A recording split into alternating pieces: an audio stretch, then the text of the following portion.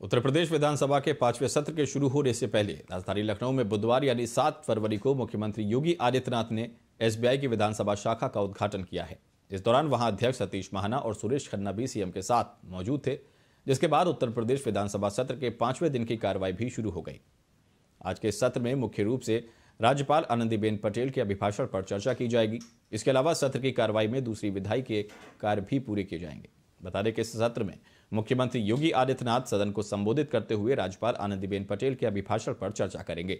वहीं सूत्रों से खबर मिली है कि सदन में आज नेता विपक्ष अखिलेश यादव भी बोलेंगे।